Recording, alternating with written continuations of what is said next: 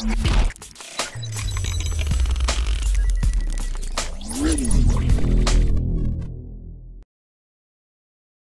Hi friends sports பற்றின செய்திகளை உடனுக்குடனாக தெரிஞ்சுக்கொள்ள நம்ம தமிழ் கிரிக்கெட் சேனலை சப்ஸ்கிரைப் பண்ணுங்கள் இந்தியா மற்றும் பங்களாதேஷ் இந்த இரண்டு அணிகளுக்கு இடையேயான முதல் டி டுவெண்ட்டி போட்டியில் அதிர்ச்சி அளிக்கும் வகையில் பங்களாதேஷ் அணி ஏழு விக்கெட் வித்தியாசத்தில் இந்தியாவை வீழ்த்திட்டாங்க. இந்த தோல்விக்கு பல காரணங்கள் இருந்தாலும் இந்திய வீரர் ஒருவர் செஞ்ச ஒரு மிகப்பெரிய தவறு தான் இந்திய தோல்விக்கு ஒரு முக்கியமான காரணம் அப்படின்னே சொல்லலாம். அது பற்றின முழுமையான விவரத்தை பார்ப்போம்.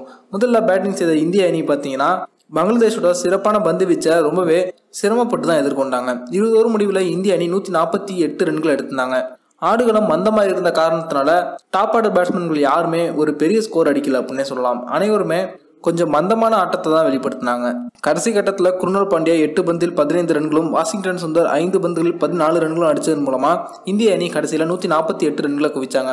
அதன் பிறகு களமிறங்கின பங்களாதேஷ் அணி ஆரம்பத்திலே மூன்று விக்கெட்டை இழந்தாலும் கூட அந்த அணியின் விக்கெட் கீப்பரான முஸ்பிகிர் ரஹீமோட பொறுப்பான ஆட்டத்தின் மூலமா அந்த அணி வெற்றி பெற்றாங்க. அந்த அணி இருபது பந்துகளுக்கு முப்பத்தி ஐந்து ரன்கள் தேவை அப்படின்னு ஒரு நெருக்கடியான சமயத்தில் இருந்தபோது பார்த்தீங்கன்னா இந்திய அணியின் பவுலரான சஹால் வந்து பந்து வீசினார். அப்போது முஸ்பிகிர் ரஹீம் தூக்கி லெக்ஸியர் அடித்த ஒரு பந்தை குருணல் பாண்டியா ரொம்பவே ஈஸியான கேட்ச் வாய்ப்பை நழுவ விட்டார். அது மட்டும் இல்லாது அந்த பந்தை அவர் சிக்ஸ் லைனுக்கும் தட்டி விட்டார் இதன் காரணத்தினால அந்த எளிதான வாய்ப்பு நழுவியதன் போது பார்த்தீங்கன்னா முஸ்பிகிர் ரஹீம் தொடர்ந்து அதன் பிறகு அதிரடியான ஆட்டத்தை வெளிப்படுத்தி அந்த அணியை வெற்றி பெற வச்சுட்டாரு.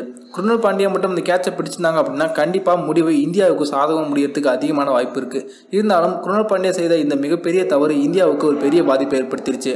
நாற்பத்தி மூணு பந்துகளை அதாவது அறுபது ரன்களை அடித்த முஸ்பிகிர் ரஹீம் பார்த்தீங்கன்னா ஆட்டநாயகன் விருதையும் வென்றாரு. இரண்டு அணிகளுக்கு இடையேயான இரண்டாயிரத்தி டி டுவெண்ட்டி போட்டி வருகின்ற வியாழக்கிழமை அதாவது ஏழாம் தேதி நடைபெறுகிறது அப்படிங்கிறது குறிப்பிடத்தக்கது. இந்த வீடியோ உங்களுக்கு பிடிச்சிருந்துச்சுன்னா லைக் பண்ணுங்கள் ஷேர் பண்ணுங்கள் நன்றி.